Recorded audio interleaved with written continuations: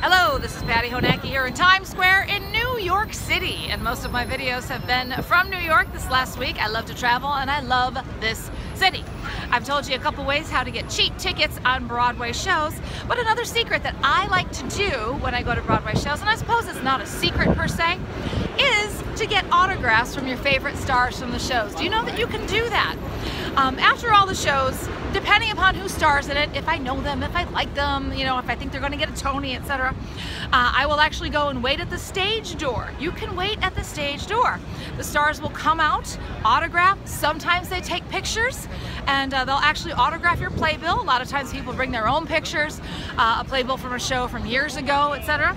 A couple things you need to know about waiting for autographs. First of all, they'll always have barriers up, you know, like those stanchions. Um, don't mess with them. The, the security out there, when they tell you to back up, back up because they will take your butt and throw it out of there if you're not following their instructions. Um, also, always bring your own Sharpie. Most of the stars of the shows will have their own Sharpie, which is that black marker. Um, because it's just quicker that way to sign everybody's programs, but always bring your own. 90% of the time they have their own, but 10% of the time you're gonna need to hand them something or you're gonna be up a creek, okay? Uh, sometimes they do take cameras or take pictures rather. Be sure you know how to work your camera or if you give it to Aunt Bessie, make sure she knows. I have seen on more than one occasion. Oh, can I get a picture? Sure. All right, all right, well, sit. Okay, and the, I, the, where'd the picture go? Where the, oh, it was on video. Oh my God, I'm so... They only have a limited amount of time. Plus, they don't have to do that. So be sure that you or Aunt Bessie knows how to work your camera or your phone, okay? Uh, please know that it can be cold, especially uh, in New York if you come in the winter or some spring or fall. Even in the summer it can be cold, all right? Um, stars can take up to a half hour after the show. I've, I've waited out there for a half hour before people come out, and that was for a show that there were no costumes, makeup, or heavy hair dues. That was for a play. In fact, that was for Jeff Daniels uh, when he starred with Michelle Williams in Blackbird. A half hour after the show, and all he had to do was change his shirt. So be patient they will come out most of the time.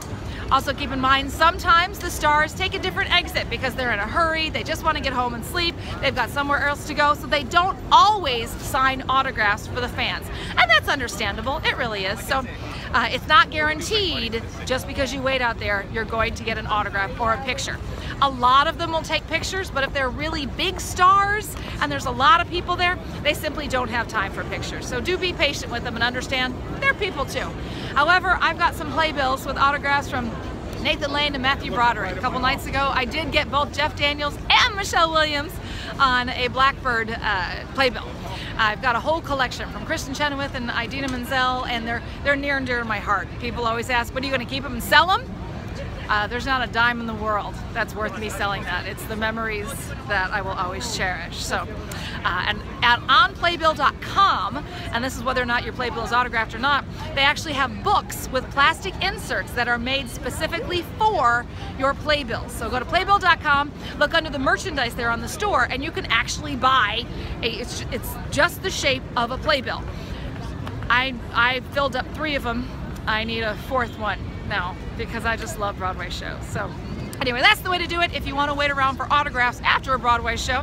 Thank you very much for watching. This is Patti Honacki, part of my 365 project here on YouTube. Tune in every day when I guarantee you will learn something. Even if it's that I've been wearing the same hat for a week now. Yeah, I do sleep in it.